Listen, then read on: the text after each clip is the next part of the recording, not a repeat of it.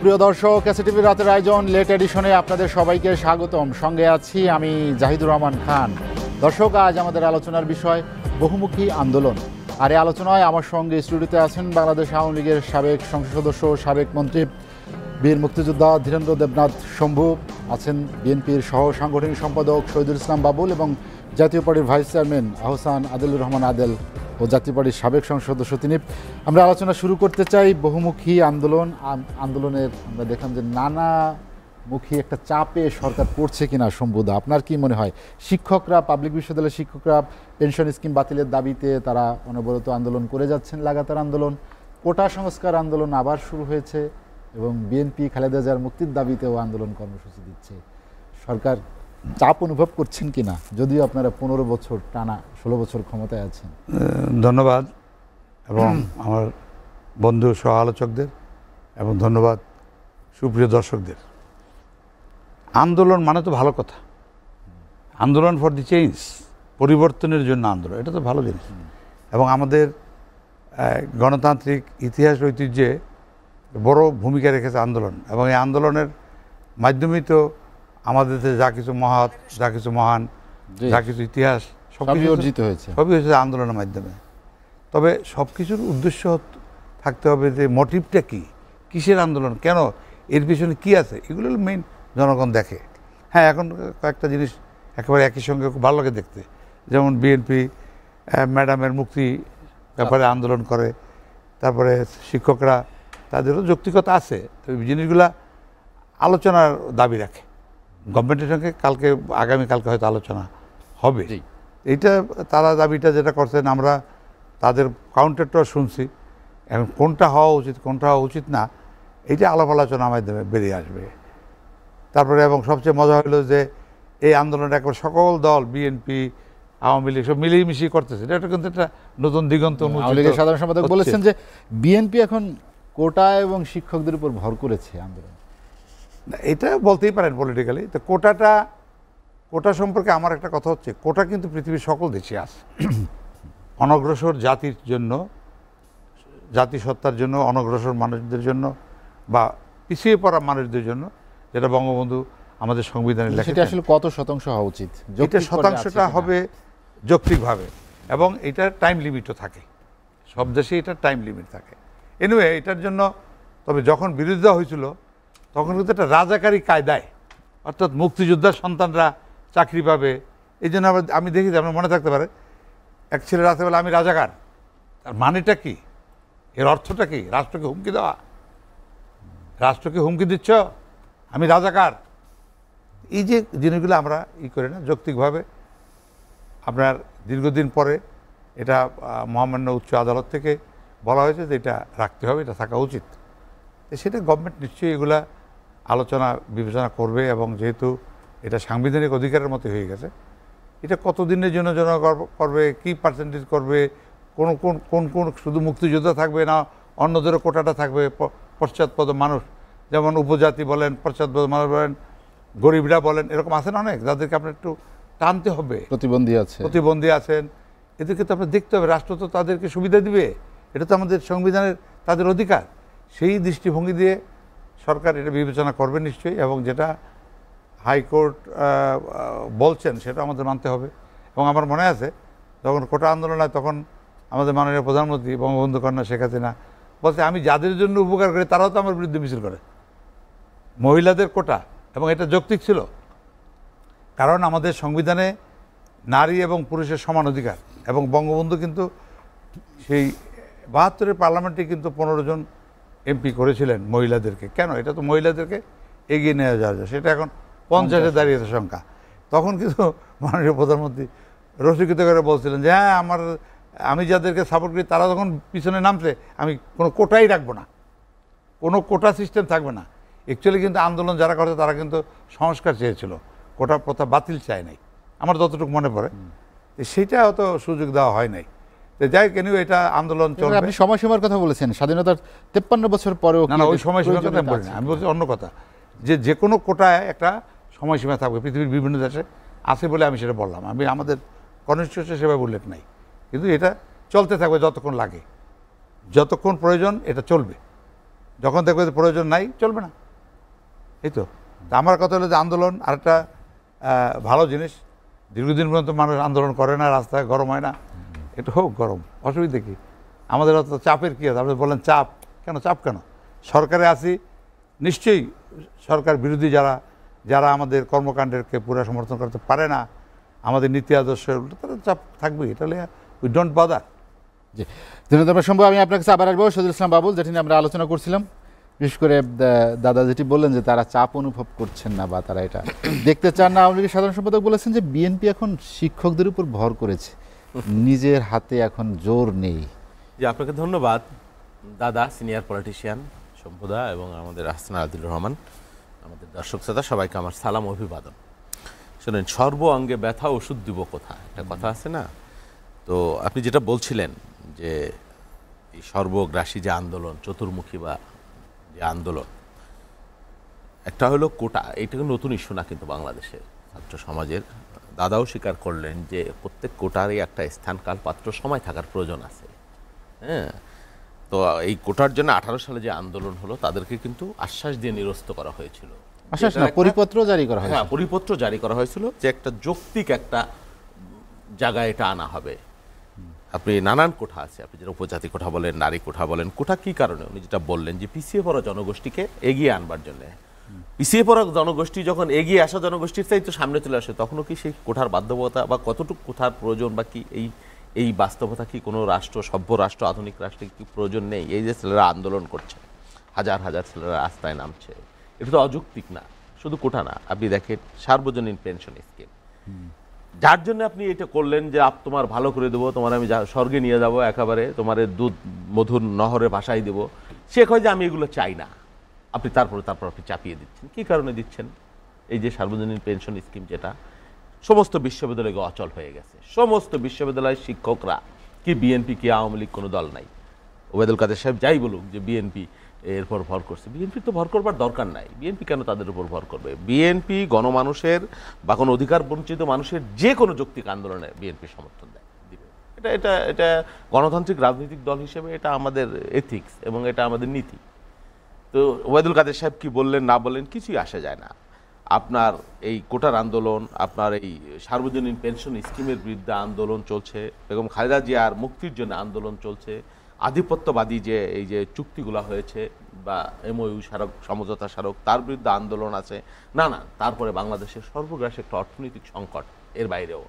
রিজার্ভের একটা ভয়াবহ পতন, যেটা কোনোভাবেই টেনে উপরে ওঠানো যাচ্ছে না। বিদেশি লোন টোন ঋণ, বিশ্বব্যাংক এডিবি চায়না সব দিয়েও এটাকে মেকআপ করা যাচ্ছে না। দিনে দিনে এটা ডিটোরেট করছে। তারপরে রাজনৈতিক সংকট। আপনি যেভাবেই বলেন, এখন একটা দলের একটা শাসন চলছে, একটা পার্লামেন্ট আছে ঠিকই। সেই পার্লামেন্টে বিরোধী মত, পথের কোনো বাস্তবায়ন, কোনো ফলাফল আছে? যাহা আওয়ামী লীগ তাহাই দামি, যাহাই দামি তাহাই জাতীয় পার্টির একটা অংশ। এই যে যে সামগ্রিক বাস্তবতা, তারা তারাই সব কিছু মিলে। এই যে দীর্ঘদিনের এই রাজনৈতিক একটা বাস্তবতা বা রাজনৈতিক সংকট, এর ফলে কিন্তু অর্থনৈতিক সংকট। এর এর মধ্যে সর্বগ্রাসী দুর্নীতি এক একটা। টিপ অফ দ্য আইসবার্গের শুধু আমরা উপরের অংশটাই দেখি ভেতরের অংশ কিন্তু হাজার হাজার। সরকারের মধ্য থেকে আসছে এতদিন কিন্তু আসেনি এখন কিন্তু এক একটা করে সামনে আসে। আপনি পেনেজির বলেন আপনি আজিজ বলেন আপনি এই যে আর আরও কি ডক্টর হুদা নামে একজন আছে তার এরকম হাজার হাজার করে টাকা। তারপরে আবার দেখলাম ওই ডেলি স্টারে দেখলাম যে কি আর দেখলাম মতিউর নামে আর একজন তো ছিলই তারপরে কি ফয়সাল মাহমুদ ফয়সাল নামে একজন, রফিকুল ইসলাম একজন ডিআইজি তারও এরকম হাজার কোটি, হাজারের নিচে কোনো কথা নাই। ভয়ঙ্কর বাস্তবতা। এই যে যে মানে জাতীয় আয় এবং মাথাপিছু আয়ের যে পার্থক্য, কেউ কেউ ফুলে ফেপে বিত্ত বৈভবের একটা মহাসমুদ্র হয়ে যাচ্ছেন। আর মানুষ খেতে পারছে না, মানুষ কিনতে পারছে না, মানুষ বাবার চিকিৎসা করতে পারছে না, কি ভয়াবহ বাস্তবতা। মানুষ আত্মহত্যা করছে, এরকম রেকর্ডও আছে, আপনি দেখবেন। ছেলে মেয়েদের পড়াশোনা খরচ দিতে পারছে না। এটা কিন্তু মানে সামগ্রিক চিত্র, আপনি ফুলে ফেপে মাথা পিছু আয় বলেন, রিজার্ভ বলেন, যাই বলেন, এটা মুষ্টিমেয় মানুষের হাতে। স্বাধীনতার যে তেপ্পান্ন বছর আমরা পার করলাম, মুক্তিযুদ্ধের যে মূল স্পিড, বৈষম্যহীন সমাজ এবং গণতন্ত্র, এই দুইটা স্পিড থেকে আমরা পেছনের দিকে যাচ্ছি। যোজন যত যত দিন যাচ্ছে তত পেছনে। শুধুমাত্র সরকারি আমলা তা তো নয়, আপনি রাজনৈতিক নেতৃত্ব আপনি যদি দেখেন, যারা একটু ক্ষমতার পরশ পেয়েছে, এবার আপনি সার্ভে করে দেখেন যে কতজন এমপি এই যে ওনারা যে এমপি হইতে পারে না হয়নি হইতে পারে নাই, কি কারণে? টাকার কাছে এরা মেয়ের মায়ের খেয়ে গেছে। যারাই দুই, চারজন একটু তুলনামূলক সততা বা একটু নীতি নৈতিকতা আওয়ামী লীগের মধ্যে কেউ কেউ আছে, সবাই একেবারে লুটেরা, দুর্বৃত্ত, এটা আমি বলি না। কিন্তু তাদের কারণে ওনাদেরকেও কিন্তু দায় নিতে হচ্ছে। যারা দুই, চারজন সৎ রাজনীতিবিদ আছে তারা টিকতে পারছেন না। প্রতিযোগিতায় হেরে যাচ্ছেন। হাজার হাজার কোটি টাকার মালিকরা, দুর্বৃত্তরা, মাফিয়ারা, ওনাদের দলের মধ্যে থেকে, জোটের মধ্য থেকে বলা হচ্ছে যে সংসদে নাকি আশি পার্সেন্ট মানে ভাগ এমপি এখন মাফিয়া চোরাকারপারির সাথে যুক্ত কি ভয়ানক কথা, আপনি চিন্তা করতে পারবেন? তারপরে ব্যবসায়ী তো আছেই। এখানে গায়ক, নায়ক, নানান ধরনের মানুষের আধিপত্য। রাজনীতিবিদরা নাই। খুব কম, আস্তে আস্তে কমে যাচ্ছে। আপনি রাজনৈতিক নেতৃত্ব, আপনি যারা দেখবেন এমপি যারা হয়েছেন, ছিলেন একবার ক্ষমতায়, কিছু কিছু বাদ দিয়ে, আপনি প্রত্যেকের কারও একশো গুণ, কারও পাঁচশো গুণ, কারও তিন হাজার গুণ, কারও পাঁচ হাজার গুণ সম্পত্তি বেড়ে যায়। কি আলাদিনের আশ্চর্য চেরাগ?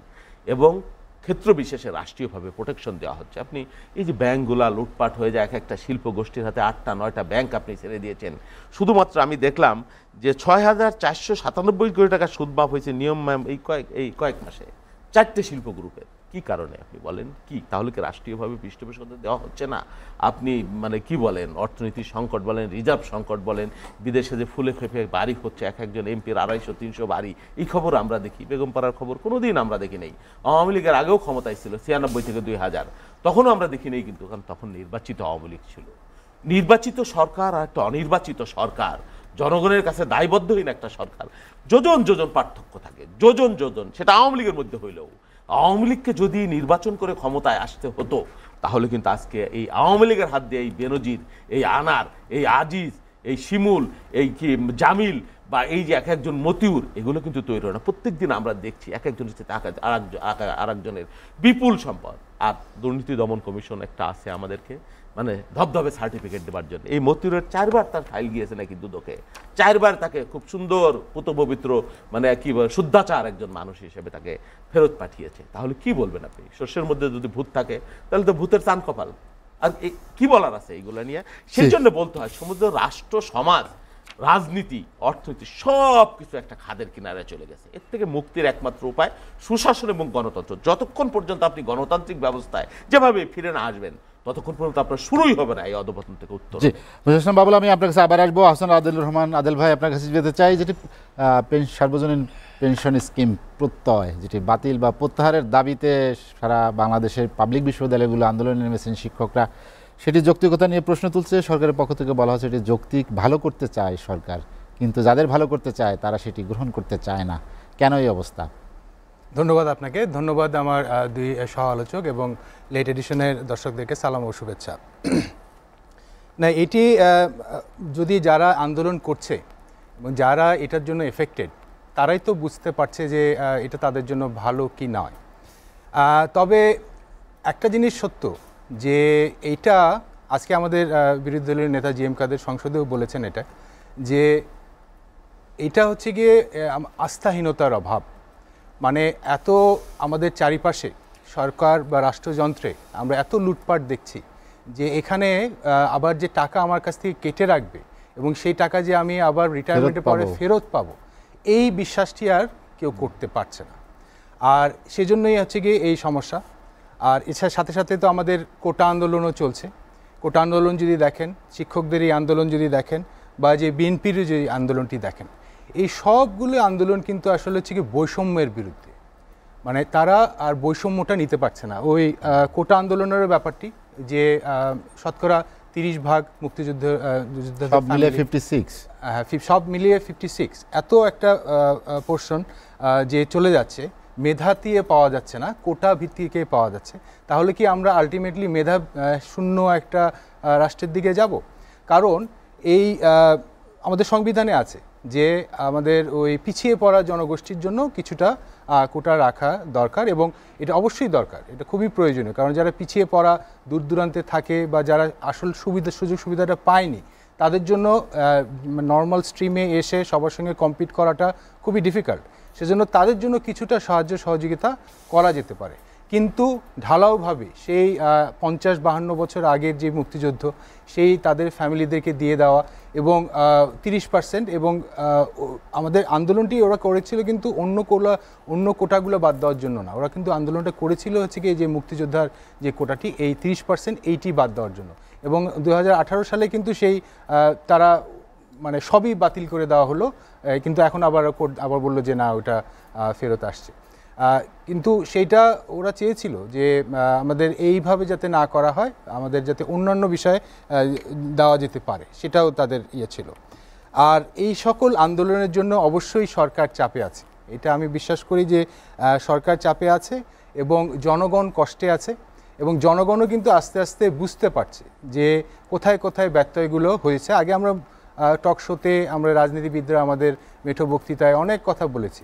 কিন্তু জনগণের বুঝতে কিন্তু আসলে সময় লাগ- লাগছিল এবং এখন যখন উদাহরণগুলো সামনে চলে আসছে, তখন বোঝা যাচ্ছে যে আসলেই যে আমাদের দেশের যে কি, কী রকম অবস্থার মধ্যে আমরা পৌঁছে যাচ্ছি। আর আরেকটি আন্দোলন সেজন্য মানে আমার মনে হয় জনমনে তৈরি হচ্ছে এবং সেটিও খুব শীঘ্রই সামনে আসবে, সেটা হচ্ছে দুর্নীতির বিরুদ্ধে যে আন্দোলনটি। এবং আমার মনে হচ্ছে যে জনগণ এটা জেগে উঠছে এবং সবখানে, সর্বক্ষেত্রে কারণ বিশেষ করে রাজনীতিবিদরা তো আছেন, কিন্তু তাদের চেয়েও বড় কথা হচ্ছে গিয়ে আমাদের আমলা যারা আছেন প্রশাসনিক কর্মকর্তা যারা আছেন, যাদের কাছে দায়িত্ব দেওয়া, আইন রক্ষা করার দায়িত্ব দেওয়া, সুশাসন মেনটেন করার দায়িত্ব দেওয়া, তারাই যদি দুর্নীতি করেন, রক্ষকই যদি ভক্ষক হয়, তাহলে তো আর কোনো কিছু করার থাকে না। আর রাজনীতিবিদরাদেরকে দুর্নীতি করেন, বলেন, কিন্তু রাজনীতিবিদদের কিন্তু যদি ভোটের সঠিক নিয়ম থাকতো। আমরা যদি ভোটটা যদি থাকতো, তাহলে কিন্তু তারা দুর্নীতি করতে পারতেন না। কারণ তাকে যে ভোট চেতে হবে, একজন দুর্নীতিবাজ লোককে কিন্তু যে যে করে হোক, জনগণ কিন্তু ভোট দেয় না। সেজন্য একজন রাজনীতিবিদ যদি দুর্নীতি করেন, করলেও সেটা উনি মাঠে রেখে আসবেন, মাঠের নেতাকর্মী জনগণের স্বার্থে ব্যয় করবেন, অথবা মানে করবেনই না। কারণ তিনি জানেন যে যদি তার রেপুটেশন খারাপ হয়, তাহলে সে আগামীবার আসতে পারবেন না। আর একমাত্র এখন রাজনীতিবিদরাই পাঁচ বছর পর পর আমাদের আমল নামা জমা দিতে হয়। কিন্তু অন্য কাউকে কিন্তু এখনও জমা দিতে হয় না। কিন্তু সেটার জন্য এখন আন্দোলন হচ্ছে মানে এখন আসছে সামনে যে তাদেরকেও প্রথম দিতে হবে এবং প্রত্যেক পাঁচ বছর পর দিতে হবে। এবং এটা যদি হয় তাহলে কিছুটা হলেও কন্ট্রোলে আসবে। কিন্তু আলটিমেটলি আমাদের গণতন্ত্র যদি না আসে জবাবদিহিতা যদি না আসে নির্বাচন প্রসেস যদি ঠিক না হয় তাহলে আমাদের এই দুর্নীতিগুলো আমরা কখনোই আমূলে উৎপাদন করতে পারব না। জি আদেল ভাই আমরা একটা বিরতি নিতে চাই। বিরতির পরে আবার আসব। দর্শক লেট এডিশনে নিচ্ছি একটা বিরতি ফিরবো শীঘ্রই সঙ্গেই থাকুন। দেখছেন এসে টিভি রাতের আয়োজন লেট এডিশন বিরতির পর আমরা আবারও ফিরছি আলোচনায়। ধীরেন্দ্র দেবনাথ শম্ভু দাদা যেটি আহসানুল আদের রহমান আদেল বললেন যিনি ফিরে আসলেন ভোটে গণতন্ত্র জবাবদিহিতা। না গণতন্ত্র তো আছে দেশে। গণতন্ত্র আছে গণতন্ত্রকে আরও শানিত করতে হবে। গণতন্ত্রকে যারা গণতন্ত্র বলে চিল্লায় তারা যে চিল্লায় তারা কি গণতন্ত্রে আছে? তারা গণতন্ত্রে পার্টিসিপেশন আছে? তাদের রাজনৈতিক দলটা কি গণতান্ত্রিক দল? তাদের কি কোনো নিয়মতান্ত্রিক, শাসনতান্ত্রিক কনস্টিটিউশনাল পলিটিক্স তারা করে? তারা এই কথা বলবে কেন? সবই তো খোলা ছিল, তারা আসে নাই। একতরফা দোষ দিলে তো হবে না আওয়ামী লীগকে। আওয়ামী লীগ তো দরজা খুলেই দিয়েছিল, তারা আসবে না। তারা, তাদের কথা হয়েছে যে তারা এই সরকারের অধীনে নির্বাচনে আসবে না। তো এই সরকার তো জনগণ মানতেছে। এই সরকার তো দেশের জন্য কাজ করতেছে। এই সরকার তো জনগণের জন্য কাজ করতেছে।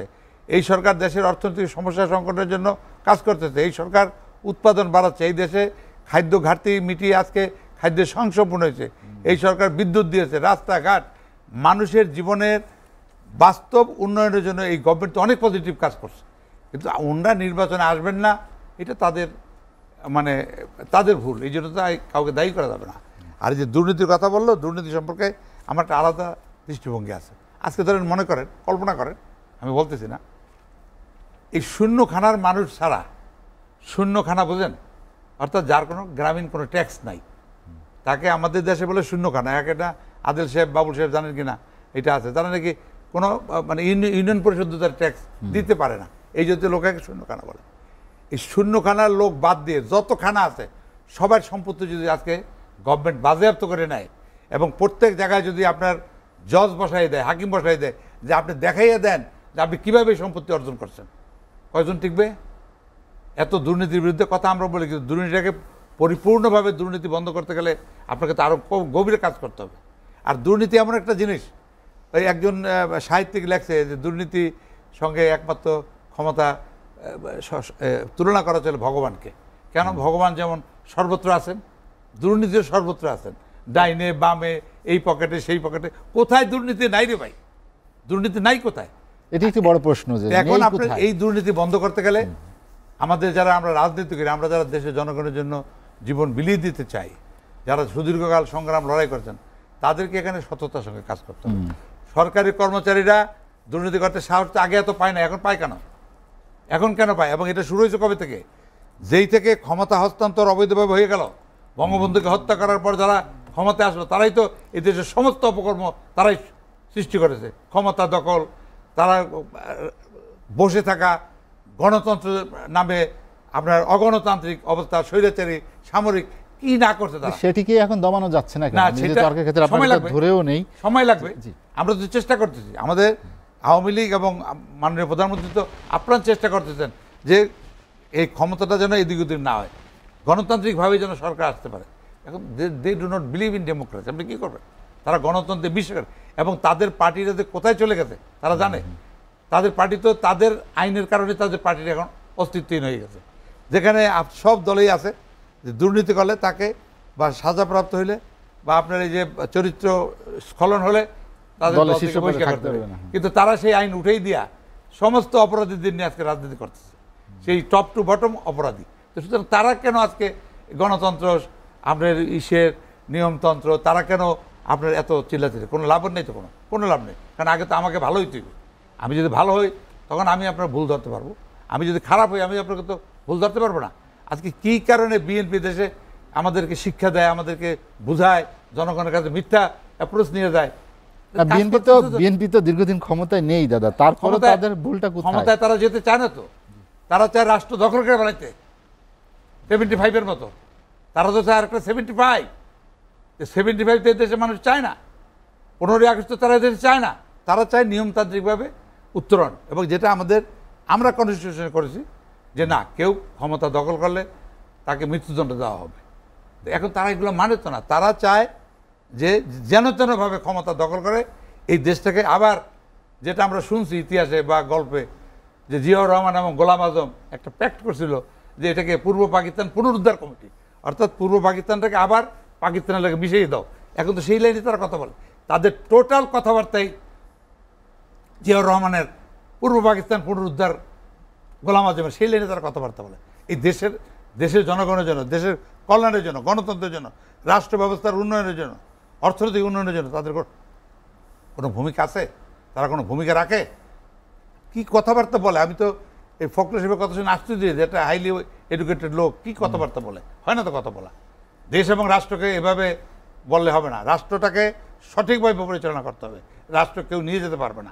আর আমরা ক্ষমতায় আছি বলে আমরা যে আরও চিরকাল ক্ষমতায় থাকবে আমরা তো কোনো কথা না। কিন্তু কীভাবে হবে?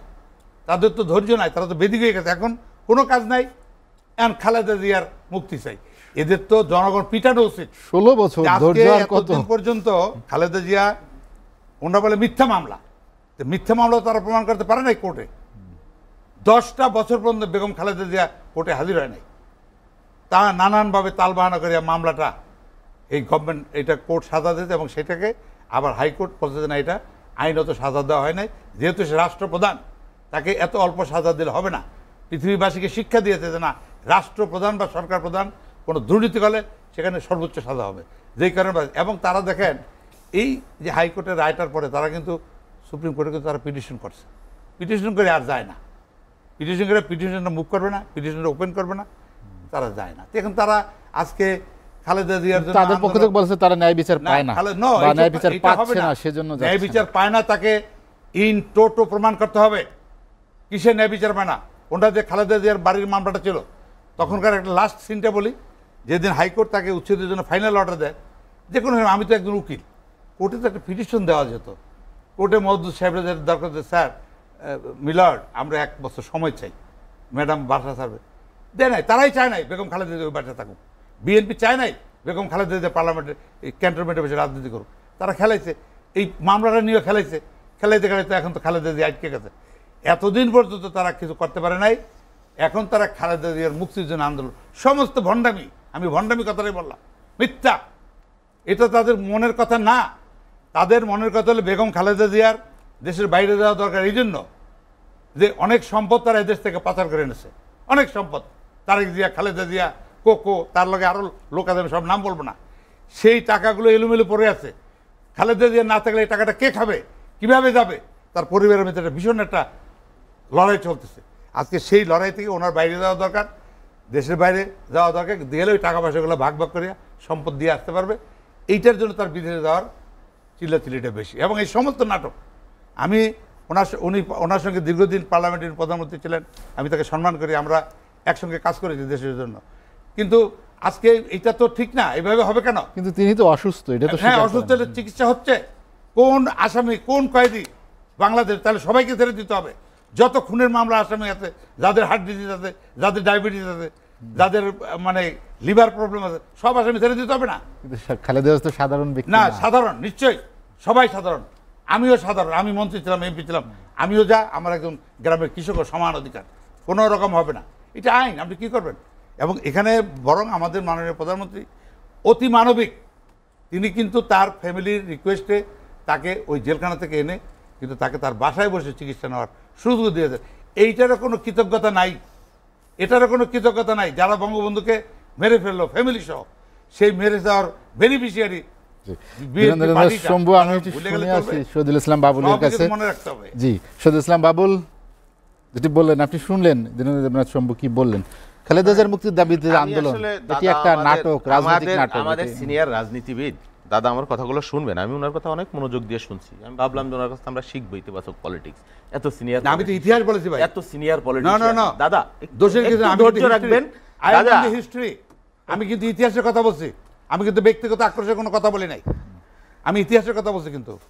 আরও কিছু আছে? আপনি শেষ করেন আমি বলব তারপর। না, আপনি আমার কথার মধ্যে কথা বলবেন আবার বলব? দয়া করে না না ঠিক আছে। দয়া করে একটু না, দয়া লাগবে না ভাই, আমি বলার অধিকার নাই। শিখি আপনাদের কাছ থেকে। আপনার কাছে আপনার কথার উপর কথা বলার দাদা দাদা আপনি যেভাবে ব্যক্তিগত বিদ্বেষ নিয়ে প্রত্যেকটা কথা বেগম খালেদা জিয়া তার সাথে জনপ্রিয়তায় পারেন না। বাংলাদেশে একজন একজন। যিনি চারটি নির্বাচনে রাতের ভোটের না ডামিয়ার আমিন না ভোটের আগে ভোট না যেগুলো ওনারা নির্বাচিত হয়েছে। হ্যাঁ সেই ভোট না। চারটি নির্বাচনে বাংলাদেশি আঠারোটি নির্বাচনী এলাকা থেকে নির্বাচিত হয়েছেন তার মতো কেউ নাই। আওয়ামী লীগের সভানেত্রী টুঙ্গিপাড়া ছাড়া ঢাকা থেকে সব জায়গায় থেকে যে ভোট রাতের বেলায় হয় নাই, এই ভোটে এরকম ইতিহাস। সেই জন্য খালেদা জিয়ার সাথে জনপ্রিয়তা পারে না খিস্তি খেউর। আঠারো বছর আগে উনি ক্ষমতায় ছিলেন। কি নিষ্ঠুর বক্তব্য। আওয়ামী লীগের খুব দরদ নাকি খালেদা। বিএনপির লোকরা চায় না উনি মুক্তি পাক, উনি বাড়িতে থাক।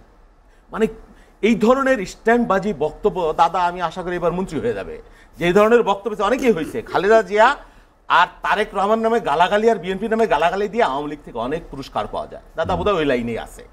কীভাবে খুশি হবে নেত্রী? কীভাবে দল খুশি হবে? খালেদা জিয়ার নামে একটা বেশি গালি দিতে পারলে, নিষ্ঠুর বক্তব্য দিতে পারলে পারলে তারা তারা খুন করে দেয়। আর দাদা, পঁচাত্তরের কথা বলেন।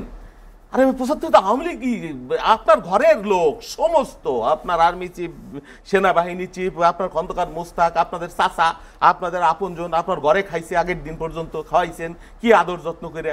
সে প্রাসাদ ষড়যন্ত্রে আপনার পঁচাত্তর করছে। আপনি বিএনপির পর চাপাই দিলেন বিএনপি পঁচাত্তর চায়। কে আপনারা বলছে বিএনপি পঁচাত্তর চায়? বিএনপি আঠারো বছর আপনি গ্যাস দিতে পারছেন না, মানুষ শিল্প কারখানা বন্ধ করে দিচ্ছে। আপনি ভয়ঙ্কর নিউজ আজকে আমি দেখলাম সমস্ত বছর, এগুলো নিয়ে কোনো কথা নাই। উনি চলে গেছে পাঁচচল্লিশ বছর আগে, জিয়াউর রহমানের বিদ্বেষ, কিস্তি কেউর, এগুলো নিয়ে দাদারা। আমি এই এই সব কথা বলতে চাই না। খালেদা জিয়া একজন অসুস্থ মানুষ, দশ বছর তাকে সাজা দিয়েছেন। কি মামলায় দিয়েছেন জানি অন ইলেভেনের মামলা।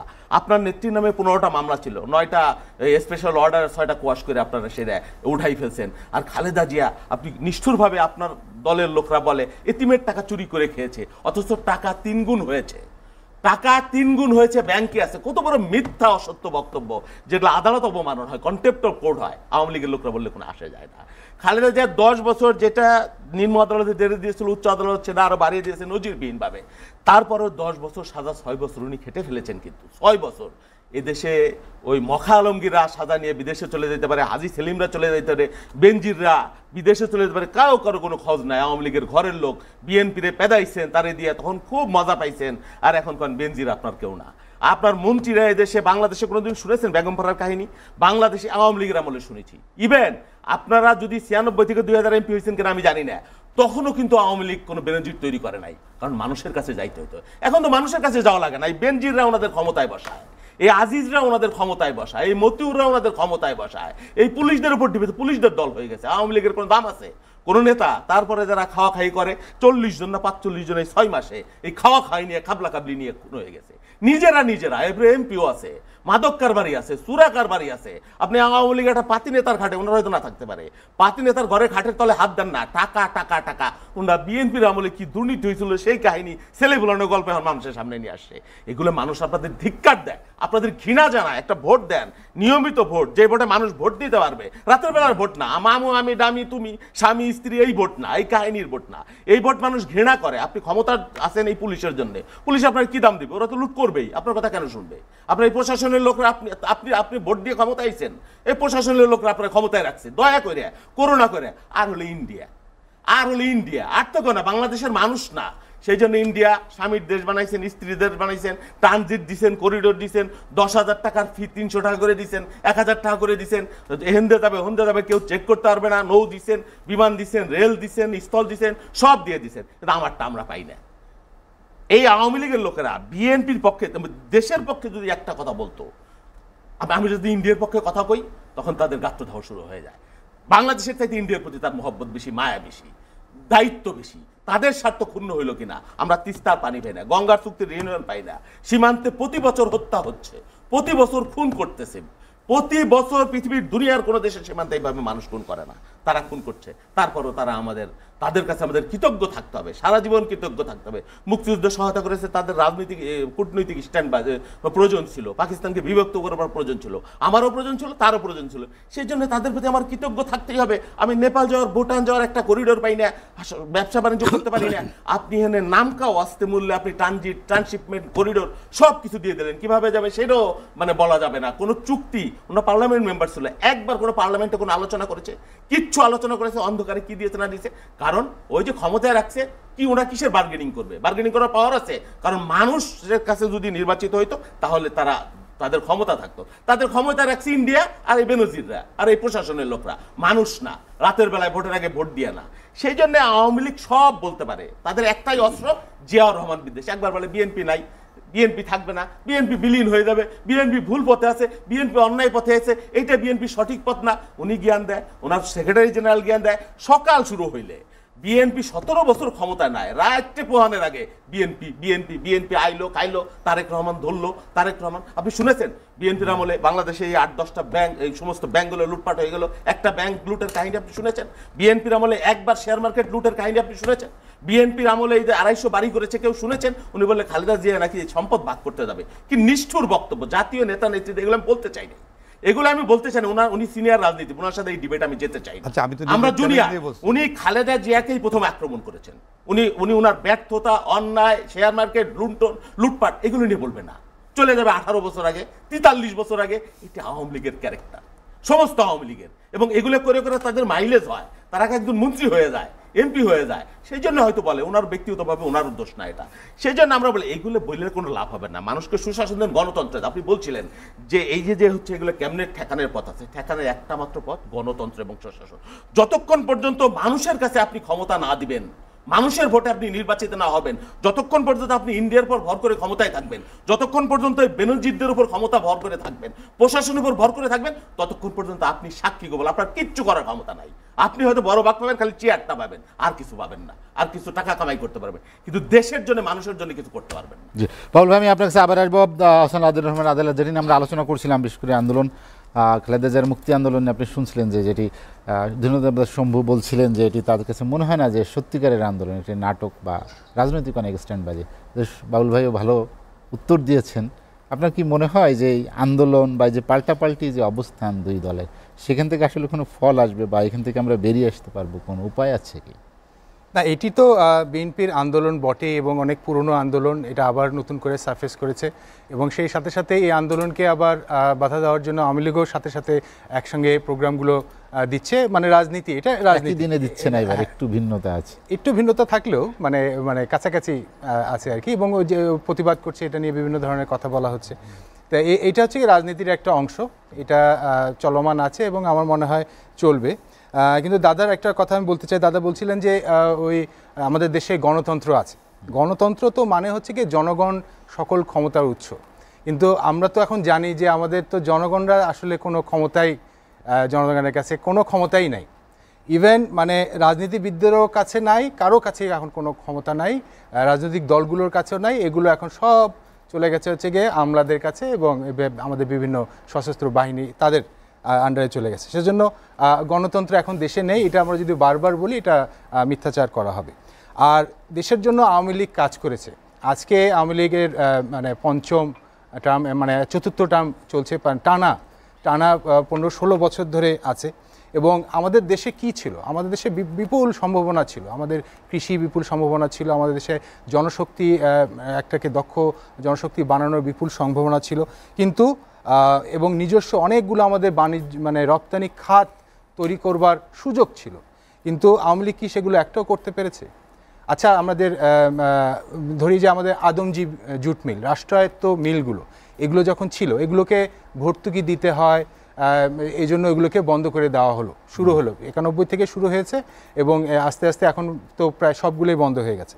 সেই আদমজি জুট মিল সেখানে দুইশো কোটি টাকা ভর্তুকি প্রণোদনা দেওয়া লাগতো। এই জন্য এটা বন্ধ করা বন্ধ করা হয়েছে। কিন্তু এই গত পাঁচ বছরে মাত্র চারটি ব্যবসায়িক প্রতিষ্ঠানকে প্রায় চুরাশি হাজার কোটি টাকা চারটি রাষ্ট্রায়ত্ত bank Janata bank Sonali bank Agrani bank Palli bank চুরাশি হাজার কোটি টাকা শিল্প খাতে তাদেরকে লোন দেওয়া হয়েছে। এবং- মকুব করেছে ছয় হাজার কোটি টাকার তার মধ্যে হ্যাঁ চারশো সাতানব্বই। এগুলো মকুব করা ছয় হাজার সুদ মৌকুফ করা হয়েছে। আর এখানে দুশো কোটি টাকা দিতে হয় বলে আমাদের মিলগুলো বন্ধ করে দেওয়া হলো।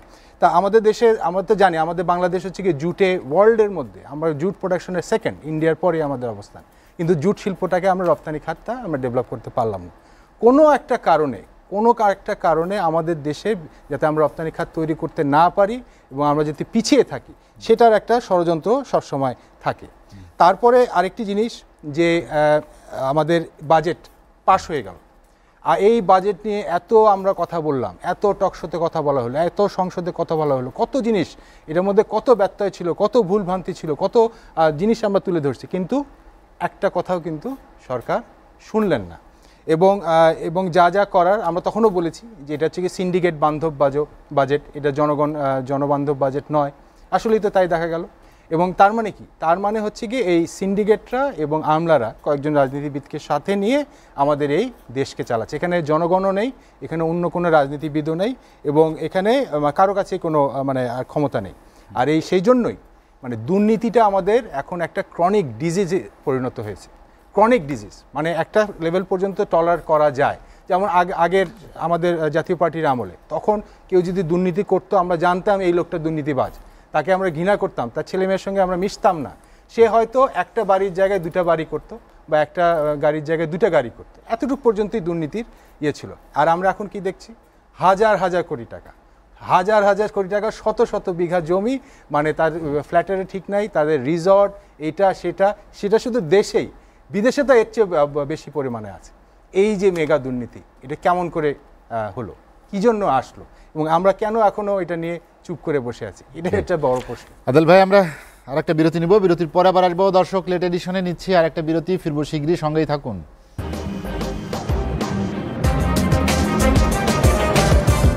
দেখছেন এস এসটিভি রাতের আয়োজন লেট এডিশন বিরতির পর আমরা আবারও ফিরছি আলোচনায়। ধীরেন্দ্র দেবনাথ শম্ভু দাদা আমরা যেটি নিয়ে আলোচনা করছিলাম বিশেষ করে শহীদুল ইসলাম বাবুল একটি কথা বলেছেন যে যতক্ষণ পর্যন্ত ভোট ভালো না হবে ভালো নির্বাচন না হবে গণতন্ত্রে আপনি ফিরে না আসবেন। ততক্ষণ পর্যন্ত সে কিছু নাম বলেছে। গণমাধ্যমে যাদের কথা আমরা দেখি দুর্নীতি বিভিন্ন ফিরিস্তি আসছে এটি বন্ধ হবে না। আপনার কি মনে হয়? ধন্যবাদ আপনাকে। মাননীয় সঞ্চালক সাহেব আমাকে একটা কথাটা বলার সুযোগ দেন। এই যে পুলিশকে গালাগালি করে? এই পুলিশ বাহিনীটাকে খারাপ করছে কারা? কারা করছে? বিএনপি এবং জাতীয় পার্টি। আজকে সে কথা বললে এখন মানুষ বলবে এটা এপিসেব কি বলে? এগুলো তারাও জানিও কিন্তু না জানার ভান। আপনার এই পুলিশকে তারা এই বিএনপির লোকেরা মানে রাজনৈতিক গালি দিত। শুরু করছে? গালি দিত। এই কি গোলামের বাচ্চারা? পুলিশকে যদি গোলামের বাচ্চারা বলে গালি দিতে পারে একটা রাজনৈতিক দলের বড় নেতা সেখানে পুলিশ তাদের সঙ্গে কি ভালো আচরণ করবে? আজকে পুলিশ বাহিনীর সমস্ত ইটাকে নষ্ট করার জন্য পুলিশ বাহিনী আমাদের মুক্তিযুদ্ধের প্রথম কাতারের সৈনিক প্রথম তারা কিন্তু প্রথম কিন্তু রাজারবাগে পাকিস্তান সেনাবাহিনীকে প্রতিহত করেছিল। সেই পুলিশ বাহিনীর অবস্থাটাকে বলতে বলতে বিএনপি এমন জায়গায় নেতে যে পুলিশ কোনো কাজেই লাগবে না। পুলিশ আমাদের অনিবার্য, পুলিশ লাগবে। পুলিশের ভিতরে বা যে কোনো জায়গায় যারা দুর্নীতি করবে, আসেন না, একটা বলি আমরা একত্রে, যে আমরা সবাই ঐক্যবদ্ধভাবে দুর্নীতির বিরুদ্ধে আন্দোলন করব। দুর্নীতির বিরুদ্ধে কিন্তু কোনো আন্দোলন নাই। দুর্নীতির বিরুদ্ধে কোনো আন্দোলন নাই, একমাত্র টকশো ছাড়া, আর আপনার কিছু টুকটাক বক্তৃতা ছাড়া। দুর্নীতির বিরুদ্ধে কী আন্দোলন আছে? তারা গালি দেয় আপনার ইসেকে। কি? দুদককে। দুদক কাজ করতেছে না। এত গালাগালির কি দরকার? একটা কথা আমি বলি, এটা আমি আমি একটু কনস্টিটিউশন থেকে বলি এক্সকিউজ মি টাইমটা দেন একটু আমাকে। আমাদের কনস্টিটিউশনের দুইটা ধারা আছে। একটা হলো বিশের দুই আর একটা হলো বিয়াল্লিশের এক। এই যে যত সম্পত্তি যে দুর্নীতিকে বানাইছে এই সম্পত্তি খাইতে পারবে না। কারণ রাষ্ট্রের দায়িত্ব হচ্ছে যে অন্যায়ভাবে অর্জিত সম্পদ রাষ্ট্র কেড়ে নেবে। রাষ্ট্র কেড়ে নেবে এখানে কিন্তু লেখা আছে। আমাকে সময় দিলে পড়ে শোনাতে পারি। রাষ্ট্রের দায়িত্ব হচ্ছে যে অন্যায়ভাবে যারা সম্পদ বানাবে, অপরকে বঞ্চিত করে রাষ্ট্রীয় জনগণের সম্পদ, সে সম্পদ তাকে ভোগ করতে দেওয়া হবে না। এটা হলো philosophy of this very articles এখানে এই কথা বলেন আপনারা বলেন না আমরা, আজকে বাদ দেন না, বলেন যে দুর্নীতির বিরুদ্ধে আন্দোলন। তা বলবে না, কারণ দুর্নীতি তো তারা করছে। দুইশো বাইশটা লাগেজ বোঝাইকিরা এদেশে বিমান চার্টার করিয়ে যায় নাই বিএনপির নেতারা।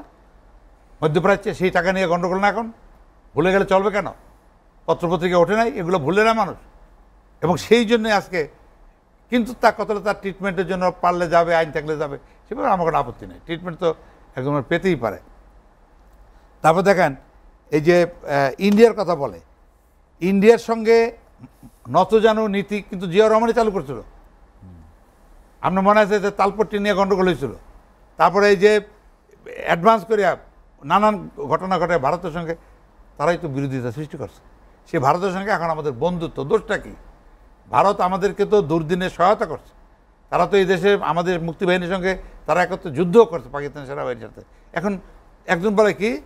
সেদিন বলে একজন ওনাদের পক্ষেও একজন বিশিষ্ট চিন্তাবিদ ইন্ডিয়া সাহায্য করছে। So what what is this India সহযোগিতা করছে, তাতে কী হয়েছে? মানে এটা কিছুই না। মুক্তিযুদ্ধটা কিছুই না। ভারতের ভূমিকা কিছুই না। তখন যে আপনার এই যে, এই আমেরিকার যে রোল সেটা খুব ভালো রোল ছিল। পাকিস্তানের রোল ভালো ছিল। এই সমস্তগুলা পাগলের রাজনীতিগুলা এদের চলবে না। যার জন্য তাদের কোনো ভিত্তি নাই। তারা সত্যকে অবলম্বন করতে পারে না। তারা মিথ্যাকে অবলম্বন করে তারা রাজনীতি করে। আপনার এই যে দেখেন এই যে আপনি দেখেন দুই হাজার একে ওনারা ইন্ডিয়া ইন্ডিয়া করে, দুই হাজার একে তো তারা ভারতের কাছে সারেন্ডার করছে। দুই হাজার একে ভারতের কাছে সারেন্ডার করে কিন্তু আমরা নির্বাচনে ঠকছি আওয়ামী লীগ। দুই হাজার একে আপনার মনে থাকতে পারে ইন্ডিয়া পাকিস্তান এবং আমেরিকা এক হয়ে কিন্তু দুই হাজার একে আওয়ামী লীগকে ঠকাইছে ওই যে তেল নিতে চাইছিল কাটার আসছিল। তেল ইন্ডিয়া নিবে কাটার উঠাইবে সেখানে আমেরিকা আমাদের উল্টা করল ভারত উল্টা করল পাকিস্তান উল্টা করল। তা আমরা তো অনেক বিরূপ প্রতিক্রিয়া প্রক্রিয়া মোকাবেলা করি তো মাননীয় প্রধানমন্ত্রী শেখ হাসিনা দীর্ঘদিন অপেক্ষা করে গণতান্ত্রিকভাবেই তো নির্বাচনে আসে তো হয়ে যায় নাই। আপনারা তো অস্থির হয়ে যান কেন? আলোচনা শেষ করতে চাই দাদা। হাতে সময় নেই আপনাকে অসংখ্য ধন্যবাদ। না এক মিনিট। আদমজি আর এই যে আদমজি সম্পর্কে কথা আদমজি তো আমরা তো আদমজি তো রাখতে চেয়েছিলাম। স্বাধীনতার পর বঙ্গবন্ধু তো আদমজিতে আমরা দায়িত্ব দিয়ে তো রাখতে চেয়েছিল। সে আদমজি তো তারা নষ্ট করেছে বিএনপি। ক্ষমতা এসে আদমজিকে ব্যক্তি মালিকানা দিয়ে দিল। এ কথা খাটে বিএনপি আর জাতীয় পার্টির পার্থক্যটা কি? পার্থক্য? জি। এরশাদ এবং জিয়া পার্থক্যটা কি? একই।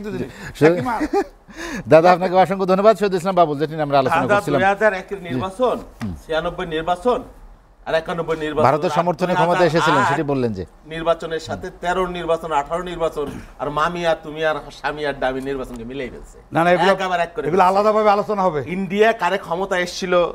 সুজাতা সেন এখানে এসে হুসেন মোহাম্মদের সাথে রাতের বেলায় হাসপাতালে ভর্তি করে নাই র্যাব দিয়ে। এই নির্বাচন না। প্রণব মুখার্জি কোয়ালিশন ওয়ার্ডসে লিখে গেছে কীভাবে মইনুনের সাথে আপনার সমঝোতা করে দিয়েছিল এই ইতিহাস আপনি বলতে পারবেন সেটার জন্য আপনারা বিএনপি দুই সালে জনগণের ভোটে সেই জন্য আপনারা মেনে নিয়েছেন দেশের মানুষ মেনে নিয়েছে। ভারতের সাথে সম্পর্ক আপনারা দায়ী। রহমানের কথা বললেন Ziaur Rahman one of the statesman যার আমলে উনিশশো আটাত্তর সালে প্রথম ফারাক্কার যে চুক্তি হয়েছিল চৌত্রিশ হাজার পাঁচশো কিউসেক পানির গ্যারান্টি ক্লোজের আর কেউ করতে পারে নাই। প্রধানমন্ত্রীকে প্রশ্ন করে হলো চুক্তি না হলে কি হয়েছে? পানি আমরা পাবো। মানে যেভাবে বলছেন কেন বলছি আমি ইন্ডিয়ার কথা? দেখেন আর দুর্নীতি দাদা বলছে দুর্নীতিবিদ্যা আসেন সবাই বলি। আরে ভাই কম্বলের যদি পশম বাঁচছেন তাহলে কম্বল কই পাবেন আপনি? শস্যের মধ্যে ভূত থাকে তাইলে তো ভূতের মহারাজত্ব। আপনি এই কয়দিন আগে এস আলমকে আপনি এই যে এস আলমকে তিন হাজার পাঁচশো আটত্রিশ কোটি টাকা ব্যাট ফাঁকে একটি কোম্পানিকে দিয়েছেন। আপনার এই এখানে সামিট গ্রুপ নামে একটা কোম্পানি আওয়ামী লীগের ঘরের মানুষ একেবারে। তারা বাংলাদেশের টাকা নিয়ে সিঙ্গাপুরের শীর্ষ ধনী হয়ে গেছে। কোনো কিছু করতে পারছেন? এই যে আব্দুল হাই বাসু কে? এত বছর হলো বলতে বলতে বলতে বলতে বলতে বলতে মুখে ফেনা উঠে লাইছে। ওনাগুলো কেউ কইছে?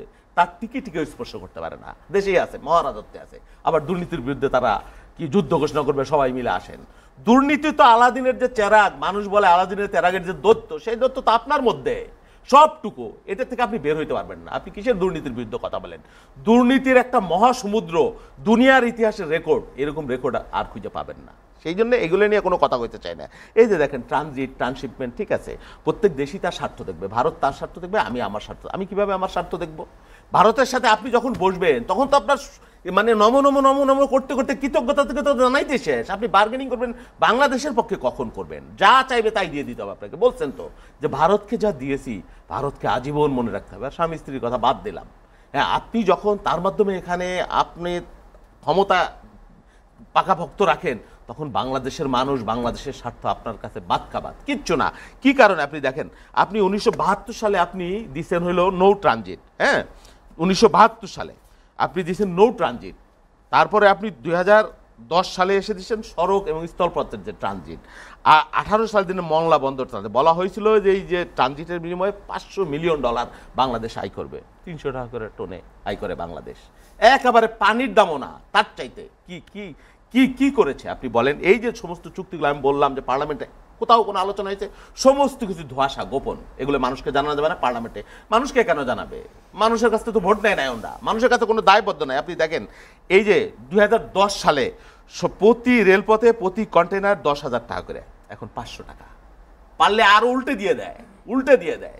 আপনার কাবার্ড ভ্যান প্রতিষ্ঠা ছিল এক হাজার টাকা করে। এখন বিশ টাকা বিশ টাকা। তারপরে ছিল জাহাজের প্রতি টন ছিল এক হাজার টাকা। ফি, এখন বিশ টাকা, কুড়ি টাকা। মানে ভিক্ষাও তো মানুষ কুড়ি টাকা না দেয়। তার সাথে বলেন যে তোমাদের আর উল্টো আমরা দিব নে। এত মিলিয়ন মিলিয়ন বাণিজ্য ঘাটতি, এত ভারতের অর্থনীতি অবদান রাখে। তারপরেও বাংলাদেশকে তারা সিরে করে যেভাবে খাচ্ছে, কিচ্ছু দিবে না, কিচ্ছু দিবে না। আপনার নেপাল, ভুটান, আপনার যাওয়ার যে একটা ব্যবস্থা, সেই সেই জায়গাটুকু তারা দিচ্ছে না। আর আমি দিচ্ছি দিচ্ছি, দিয়ে দিয়ে, দেয় সব তিস্তার চুক্তিটা পানি এখনও পাই নাই। কিচ্ছু হচ্ছে না, হবে না। কোনোদিনও হবে না। আবার এই প্রকল্প নিয়ে চায়না ভারত নানান ধরনের কিচ্ছা খায়নি। সেই জন্য কি বলবেন আপনি? সর্বঙ্গে যদি ব্যথা হয় আপনি কোথায় ওষুধ দিবেন? দেবার আসলে কোনো জায়গা নাই। আওয়ামী লীগে তার এখন মানুষ টানুষ নাই সব অতি মানব আমরা আলোচনা শেষ করতে চাই শহীদুল ইসলাম বাবুল। হাতে সময় নেই আপনাকে এগুলো বইলে আর কোনো লাভ নাই। আপনাকে অসংখ্য ধন্যবাদ। আহসান আদিল রহমান আদিল আলোচনা শেষ করব। আদিল ভাই শেষ দিকে চলে এসেছে যেটি বাবুল ভাই বললেন যে সর্বাঙ্গে ব্যথা ওষুধ দেবো কোথা? দুর্নীতি নেই কোথায়? না দুর্নীতি এখন এরকম সর্বগ্রাসী একটা রূপ নিয়েছে। সারা পুরো সিস্টেমকে প্রায় খেয়ে ফেলেছে। এবং আওয়ামী লীগ যতই বলুক যে জিরো টলারেন্স দুর্নীতির বিরুদ্ধে এটা কেউ বিশ্বাস করবে না। কারণ এই পনেরো ষোলো বছর ধরে তারা ক্ষমতায় আছে এবং প্রত্যেক আহ, ইয়া নির্বাচনী ইশতেহারে জিরো টলারেন্সের কথা উল্লেখ ছিল। কিন্তু তারা কিন্তু একটাও করেনি। এখন যখন এই ছাগল কাণ্ড বলেন বা অন্য একটা কাণ্ড বলেন যখন সামনে এসে গেছে তখন আওয়ামী লীগ বলছে যে এটা আমরা আমরা ঠিক করব এখন ইয়ে করবে। আর আরেকটি কথা যে আহ, আমাদের আহ, পল্লী জানেন যে একজন সংসদ সদস্য সংসদে বলেছেন যে কোনো সংস্থা তাকে খুঁজে পায়নি একটি ছাগল খুঁজে পেয়েছে। জি। হ্যাঁ তাই তো। তাই তো হ্যাঁ। এটা ইনসিডেন্টলি মানে হঠাৎ করে আর এই যে বের হয়ে বেরোজগার গেছে। দুর্নীতি এগুলো তো কর্পোরেট তাদের ওই মাফিয়া মাফিয়ার দ্বন্দ্বের ফল। নাহলে তো মানুষ এগুলোও জানতো না। সরকার জানতো না। সব জানে সব জানে। জানি এবং আমাদের সংসদে আবার যে সরকার যে বড় বড় সিদ্ধান্ত নেয় ওই যে আমাদের ক্যাপাসিটি চার্জ যেটা আমরা দেই আমাদের ওই কুইক রেন্টালের যে ইয়েগুলো মানে দু বছর পরে ওটা শেষ হয়ে যাওয়ার কথা। সেটা রিনিউ করতে করতে করতে করতে এখনও আছে ওটা ছাব্বিশ পর্যন্ত রিনিউ করা হয়েছে। এবং আমাদের যে ইয়ে প্রণোদনা প্রণোদনার মধ্যে আশি ভাগই এক- একত্রিশ হাজার কোটি টাকা দেওয়া হবে হচ্ছে গিয়ে ক্যাপাসিটি চার্জ এবারের বাজেটে তার মানে আশি ভাগই দেওয়া হবে হচ্ছে গিয়ে ওই ক্যাপাসিটি চার্জকে তো এগুলো কার পরামর্শে বা কার অনুমতি নিয়ে সরকার করে? তারপরে ভারতের সঙ্গে সরকারের বন্ধুত্ব ভালো। অবশ্যই আমাদের পার্শ্ববর্তী নেইবার দেশের সঙ্গে আমাদের বন্ধুত্ব থাকবে। কিন্তু সেই বন্ধুত্ব হবে neck to neck win win situation থাকবে। আমরা কোনো চুক্তি জানি না। আমাদের এই চুক্তি সংবিধানে কিন্তু আছে যে বিদেশি রাষ্ট্রের সঙ্গে যদি চুক্তি হয় সেই চুক্তিটা গণজনের জনগণের সামনে চুক্তি হয় না হবে। ইএমএও সাইন হয়েছে। এমওএ সাইন হয়েছে কিন্তু আমাদের চুক্তি চুক্তি। চুক্তি হয়েছিল আগেগুলো সেগুলো কি আমরা জানি? সেগুলো আমরা জানি না। তা আমাদের এরকম ধোঁয়াশার মধ্যে রাখা হয় এবং এই ঘোলা পানির মধ্যে অনেক কাজ হয়ে যায় যেটা আমাদের আর কি। আমাদের নেতা কিন্তু টের পাইছিলেন। সেই কারণে কইছিলেন যে সবাই পাই চোরের খনি আমি পাইছি সব ওই সোনার খনি আমি চোরের খনি। চারদিকে চোর চাটার দল সব চাইতে খাই ফেলল। তারাই তো। আলোচনা শেষ করতে চাই। ঠিক করতে হবে আগে। আহসান আদিল রহমান আদেল শহীদুল ইসলাম বাবুল এবং ধীরেন্দ্র দেবনাথ শম্ভু আপনাদেরকে অসংখ্য ধন্যবাদ।